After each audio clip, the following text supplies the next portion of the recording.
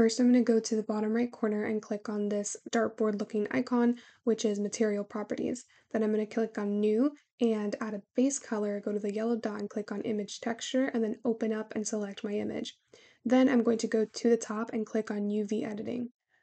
Once there, I'm going to zoom in and then I'm going to press the button under the escape key and hover over front so that I'm in front view.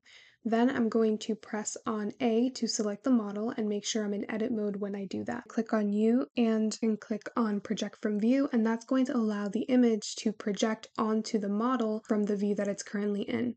And then all I have to do is press on S to scale the actual projection so that it aligns with the model in the image. And that's it. To see the actual result, I'm going to go to the top and click on layout. And then you'll notice that this is the model with an image texture applied onto her. Now, if you look at the back, however, the same image is applied and you can see that the face is literally on the back of her head.